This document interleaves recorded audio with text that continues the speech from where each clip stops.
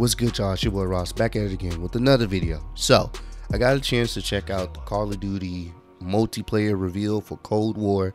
Uh, I actually saw it the day it dropped, but I wasn't feeling well that day, so I definitely wasn't in the mood to try to record anything or try to edit any videos. I was kind of under the weather, but I'm feeling much better now, so I had to bring you guys this video.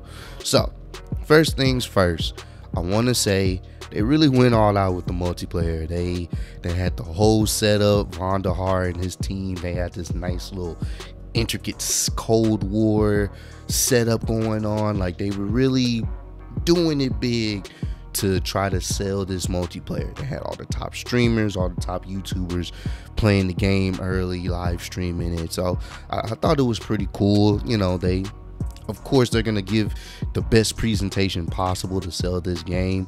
Um, there's some things i liked about the game. There's some things well the gameplay that i did see and there's some things i'm, I'm not so sure yet but we're gonna go into that.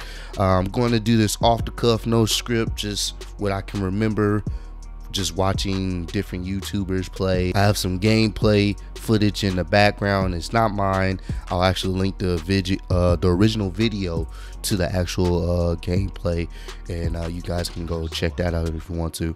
Um, but first things first, I will say this: the graphics look on par with Modern Warfare, in my opinion. Uh, I think what gives it the different feel is it looks like a Black Ops game. If you play Black Ops 1 and 2, it gives that nostalgia vibe, and I think that's what they were going for with this. So the graphics on par doesn't seem anything too crazy, even though you would think it would be a little bit better for next gen consoles. But from what I could tell, it looked good. It wasn't crazy out of the world, but serviceable.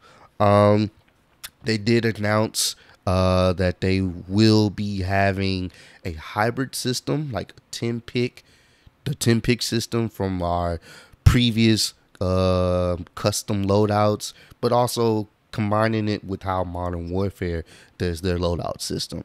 So in Modern Warfare, you can stack your gun with five attachments.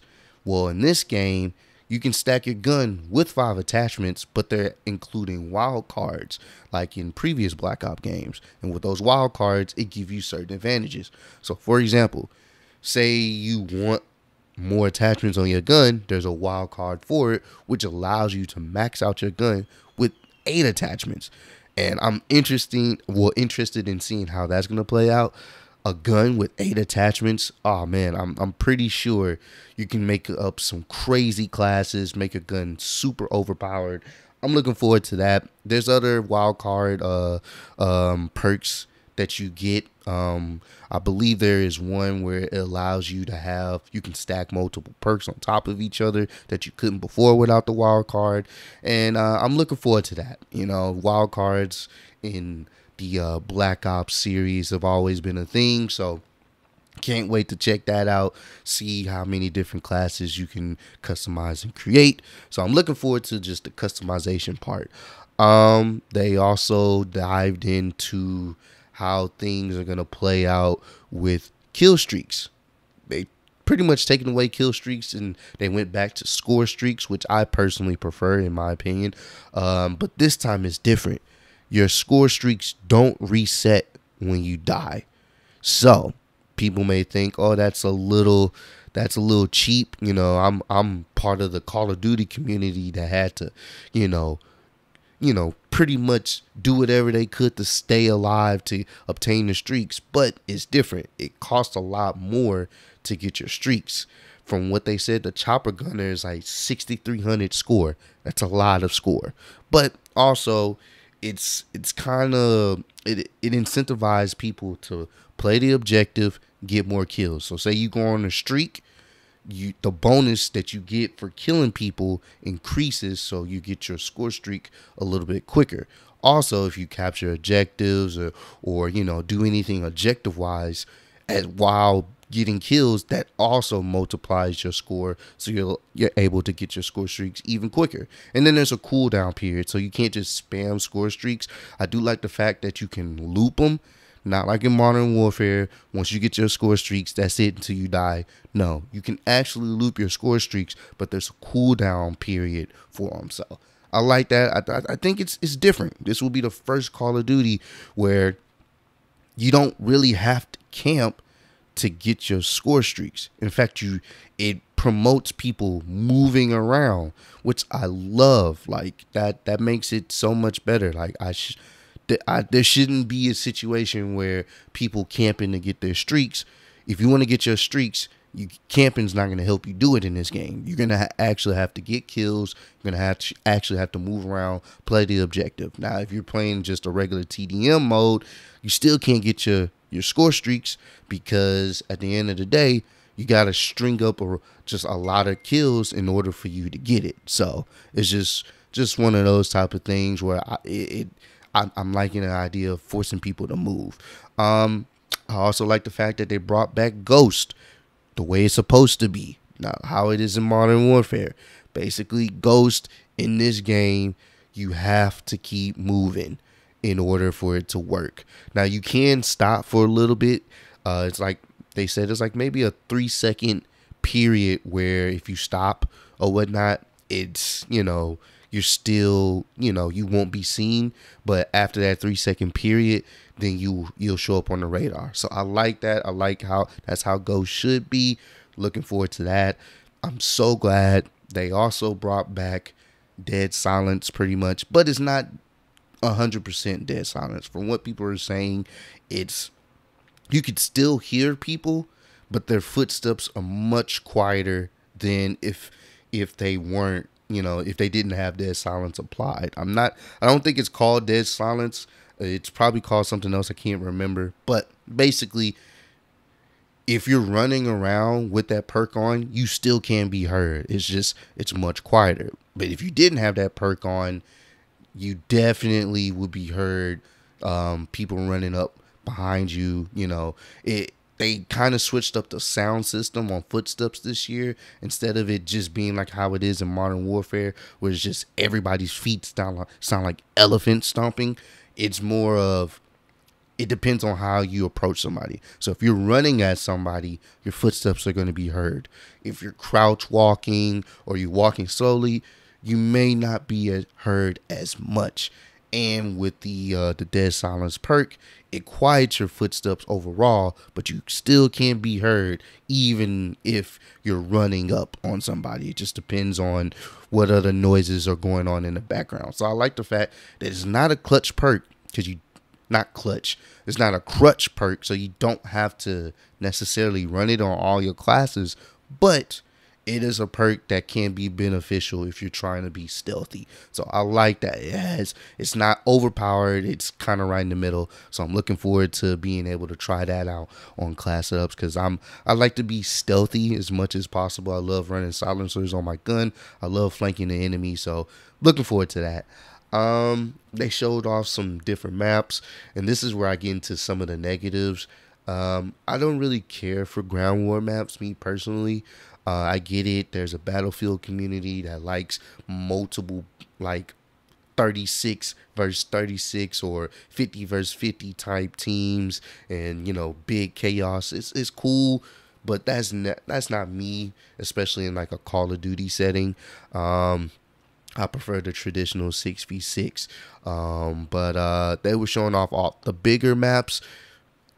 Me I, I don't really care. I'm, I can see myself maybe trying those maps out every now and then, but I'm more so concerned on the smaller to medium sized maps because I can see myself primarily just playing 6v6. Uh, there is one map that was interesting. I'm not sure sure of the name is actually part of this gameplay footage in the background. The map with the multiple ships and you can zip line to each one. That's unique that's different. I think that's pretty dope. Um, they brought back swimming in the game, so you can now swim underwater if you need to. Um, it's dope. I, I like the aesthetics. It's different.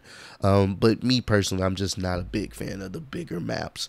Um, I did like the Miami uh, map that they showed, and I like the little desert map. Those are type of maps I can rock with like you have different tight quarters. You can you know you can move around. It gives you type of you know it gives you a chance to flank the enemy medium to small size maps or or you know are my go-to. I'm not a big fan of large maps. I'm not trying to run 30 seconds to engage with the enemy. So that's just me personally. Um but that's just all the things i could think of off top. Um wait, there actually is one more thing, one more important thing. Um, I do like the fact that Warzone itself will be transferring over to Black Ops Call of Duty. I said Black Ops Call of Duty, Call of Duty Black Ops Cold War. They will be transferring stats, I believe. They're pretty much going to keep the Warzone thing going, but I'm guessing they're probably going to pull a Fortnite, maybe change up the map, add different guns. Um, I believe they said your stats are going to transfer over. So I think that's dope. So for people who haven't bought the full game of Modern Warfare, you just have the free version of Warzone. Be on the lookout for a massive update. I think that's dope. It doesn't it doesn't split up the player base because it wouldn't make sense for them to make another like battle royale to split up the player base it that doesn't make sense to do that because now less people are playing Warzone or Modern Warfare. But now, if people don't want to buy the new Call of Duty, I actually know someone that's not really trying to buy the new Call of Duty. They weren't impressed. They'll just probably play War. That's it. Just play Warzone, and you know they'll probably have different guns, a different map, or you know different things throughout Warzone. So I think that's pretty dope. I'm looking forward to that. I think that that's a good way to keep the player base connected. And another thing that they're doing is cross-platform connection. So of course, right now, Xbox, PC, PlayStation can play against each other right now on Modern Warfare. But when the next gen consoles drop, not only will Xbox, PC, and PlayStation be able to play together, but the next gen Xbox PCs not next gen PCs, but Xbox PlayStation players, they will be able to play with people that are on the previous gen. So everybody will be able to play together. I think that's dope. Once again, it's good that they're not trying to split up the player base. I think that's amazing. Um, it's not really too many negatives for me, other than uh, I wish they would have showcased more of the smaller maps. Uh, but other than that, decent, decent showcasing. Uh, I'm somewhat excited. I will save my full judgment when the beta releases, and best believe I'm gonna have some footage of the beta, get, get beta gameplay on my channel. So be on the lookout for that.